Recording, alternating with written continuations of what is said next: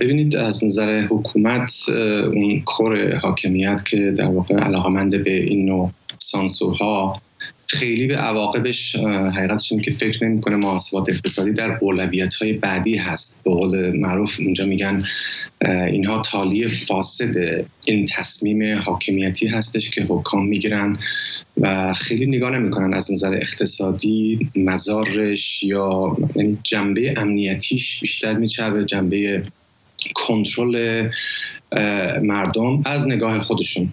پس موضوع اقتصادی یا درآمدی که برای یک عده سودجو حاصل میشه یا ضرری که دولت می‌کنه از قبل این نوع حکمرانی اینا در محله دوم هست و اتفاقاتی که میفته از نظر اونها بیشترین دلیل و مهمترین دلیل اینه که یک صدا وجود داشته باشه. در قالب اینترنت قبلا ها که بیشتر صدا و سیما بود و رسانه یعنی اینترنت به عنوان رسانه مطرح نبود قدیم ها در اون سالها اول تلویزیون یک, یک کانال و دوم اگر پدیدهای تکنولوژیکی مثل همین و یا مثلا تلویزیون ماهواره یا روش های دیگه اطلاع رسانی در اختیار مردم قرار می‌گیره اینها بایستی قطع بشه و از یک کانال همه صداها شنیده بشه. این تنها چیزیه که اونها بهش فکر می‌کنن و به عواقبشان راستش خیلی توجه نمی‌کنن. و حتی محاسبات اینجوری هم نمی‌کنن که مثلا باعث مزحکه یا خنده خیلی ها در دنیا به ما بشه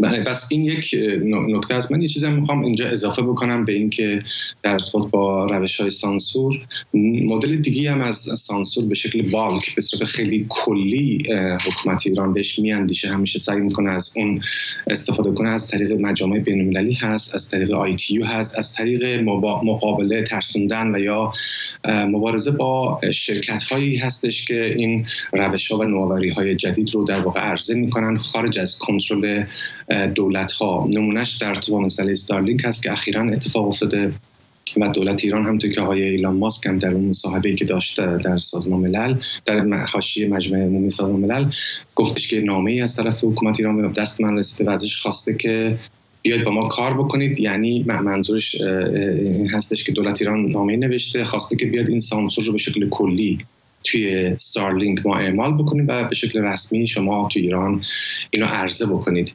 از طرف دیگه همزمان رفته در سازمان بین‌المللی ارتباطات و مخابرات.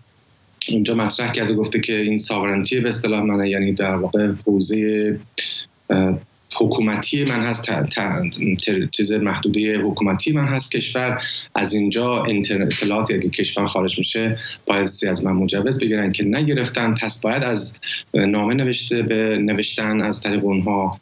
چون دبیر کل ITU الان یک فرد چینی هم هست از روابط چینی هم دارن استفاده می‌کنن که به ستارلینک و شرکت نروژی که یه بخشی از shareholder ستارلینک رو خریده داره که شما این رو برای ایران بایستی قطع بکنید. یعنی سعی می‌کنه از تمام روش و ابزارهایی که داره برای فیلترینگ به واقع استفاده بکنه. در حالی که از اون طرف قوانین دیگه وجود داره. در همین آی در همین سازمان ملل که ایران و همه کشورها که عضو اونجا امضا کردن این متن رو متحدی که اینترنت به صورت یک سرویس universal هست سرویس جهانی هست و به شکل آزاد با در اختیار مردم قرار بگیره. حتی بحث اینکه افراد حق دارن در بستر اینترنت ناشناخته بشن به دلیل دلایل کاریشون شغلشون یا هر شرایطی که هست.